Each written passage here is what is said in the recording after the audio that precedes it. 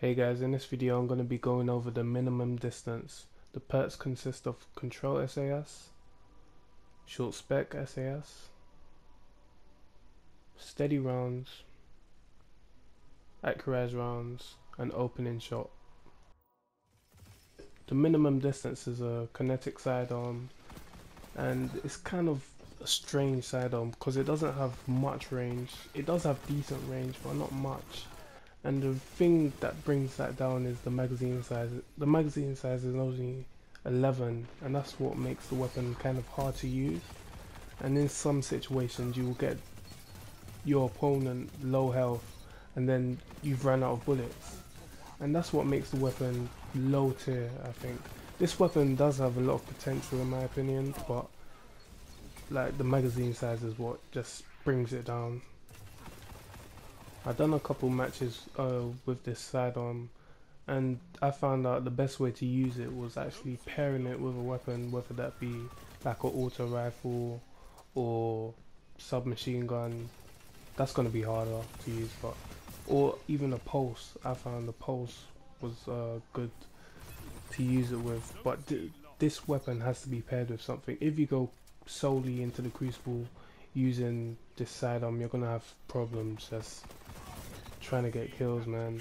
Like it's hard to use unless you like you really like a challenge or you're just purely great at Crucible. You're gonna have a hard time to use this weapon.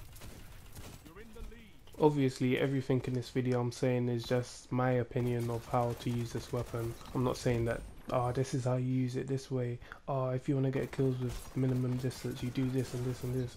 No i'm just saying that this is how i found my playstyle to best fit it. You you can either use a grenade or whatever you're using auto rifles submachine guns pulses and then you just take them out. Skips work great with this. I threw a skip and then it tracks them and then you run in and you take them out that's I love doing that man. That was so much fun. But this is a hard weapon to use in Crucible. I don't know Like, I think it's more for it has to be more for PvE I think. Because I don't think this is meant for PvP at all. But yeah this weapon is uh, unique. I haven't seen this weapon much in Crucible. And if you do want to try it out what I tried it with is Uriel's Gift, the number and uh, the new pulse from FWC uh, that's what I used it with in this video but um yeah it does work pretty well with them.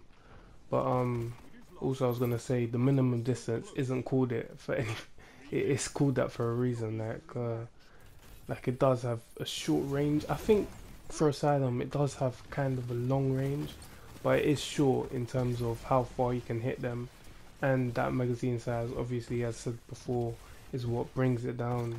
If it had like 20 in the mag I think it would do perfectly because it does have that range but you have to shoot more. And it also is a slow firing kind of sidearm isn't fast firing or anything.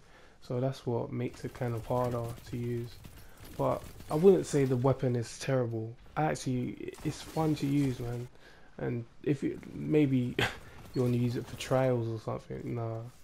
Nah that just ain't gonna work but yeah you have to be aggressive with this weapon it's a uh, you have to push you have to get them weak and then you run in so it's kind of a a weird weapon, I would say.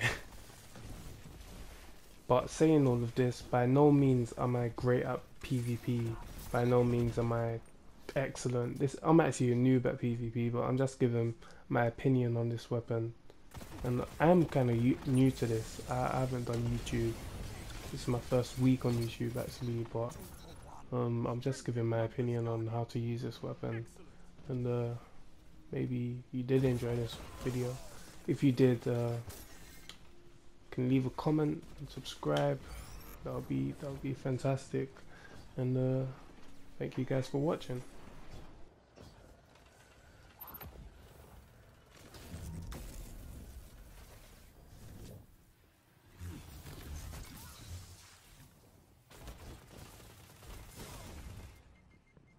the lead.